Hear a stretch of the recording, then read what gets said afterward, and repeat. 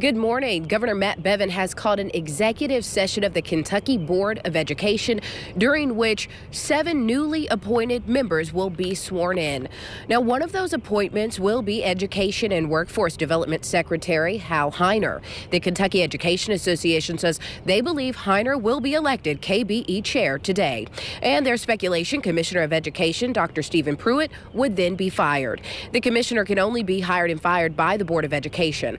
Dr. Pruitt Pruitt was here at Atherton High School last night as part of a series of town hall meetings. Well, I, I don't think I've done anything to, that I deserve to be fired for. Um, I, uh, you know, I work hard for our kids. I work hard for our teachers. I work hard for our districts.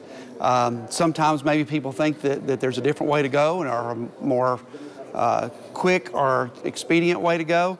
For me, I've always been about focusing on our kids and doing whatever it takes. And sometimes that takes a little bit longer, sometimes it doesn't. But at the end of the day, for me, it's always been about working for our kids in Kentucky.